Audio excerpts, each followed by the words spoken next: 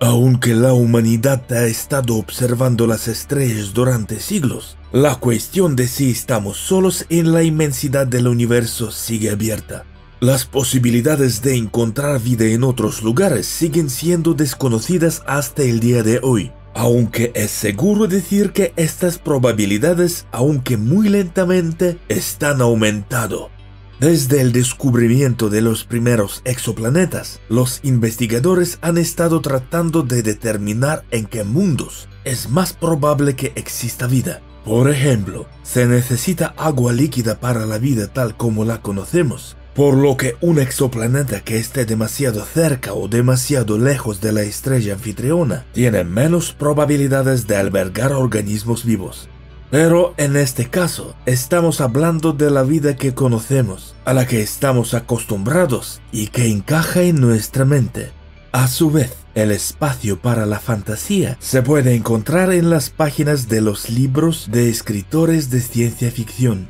La famosa obra del escritor de ciencia ficción polaco Stanislav Lem, escrita en 1960, y el nombre de este libro Solaris, seguro que es conocido por muchos. Pero, ¿qué tan real es el planeta Solaris en realidad? ¿Pueden habitar criaturas allí? ¿Qué son? ¿Qué tan creíble es este mundo? Para responder a esta pregunta, les sugiero que recuerde los aspectos más destacados de la novela de Stanislav Lem y en paralelo reflexiones sobre lo real que es. Pues, la trama del libro se desarrolla en un futuro bastante lejano, en el que la humanidad ha ido mucho más allá de la Tierra y el sistema solar. Explora mundos distantes y rincones ocultos del cosmos. Aproximadamente 130 años antes de los eventos descritos en la novela, se descubrió el planeta Solaris, un satélite de una estrella binaria que se mueve en una trayectoria compleja alrededor de ambas luminarias de su sistema. Una órbita inusual está lejos de ser la única rareza del cuerpo cósmico. Además está lejos de ser la más compleja y quizás la más obvia. Pero más interesante, en un estudio adicional, resulta que toda la superficie del planeta está cubierta por un líquido, un océano denso en forma de gel una sustancia que se asemeja a un flujo continuo de medusas, cuya vida y movimientos desafían las explicaciones con la ayuda de la ciencia conocida por la humanidad.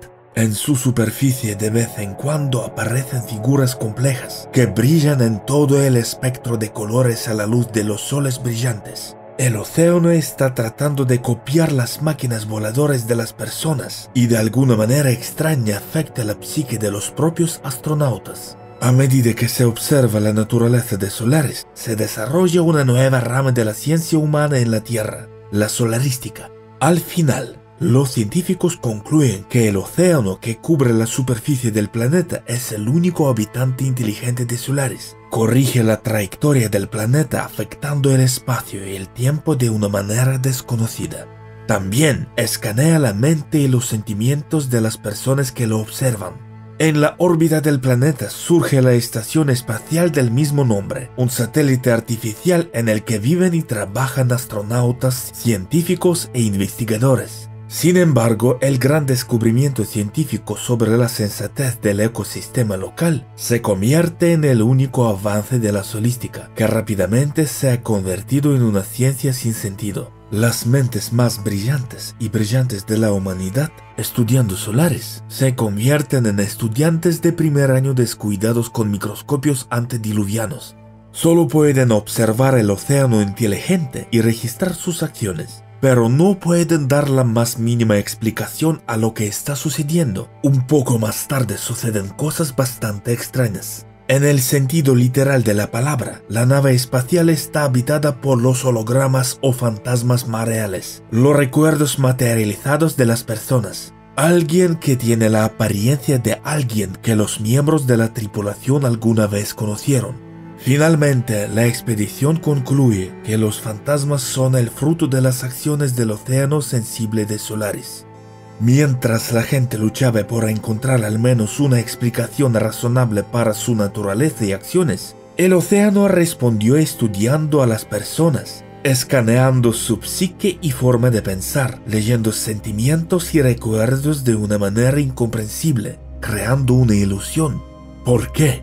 Jugar con los sentimientos humanos. realizar un experimento banal de la categoría y qué pasaría si, por qué el hombre decidió que la mente extraterrestre definitivamente se comunicaría. A menudo la persona misma intenta hacer contacto con hormigas o musgo en los troncos de los pinos.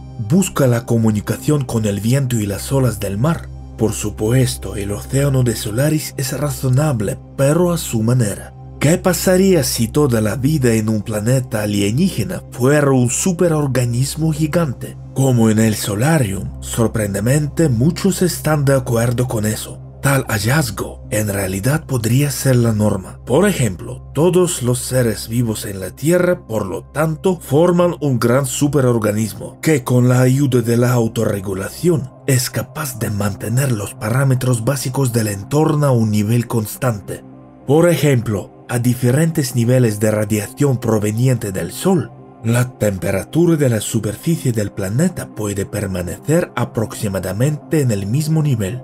Resulta que la ciencia ficción de alta calidad es un recurso importante y una fuente de inspiración para el trabajo teórico en astrobiología. Ahora que sabemos que los planetas similares a la Tierra están muy extendidos en el universo, y que la mayoría son mucho más antiguos que la Tierra, es justificable preguntarse hasta qué punto los resultados de desarrollo en otros planetas similares son similares o realmente acordes con los resultados que percibimos a nuestro alrededor. También podemos considerar una vía macroevolutiva alternativa que podría conducir a una estrecha integración funcional de todos los ecosistemas subplanetarios lo que finalmente conducirá a la aparición de un verdadero superorganismo a nivel de la biosfera. Pero esa es otra historia.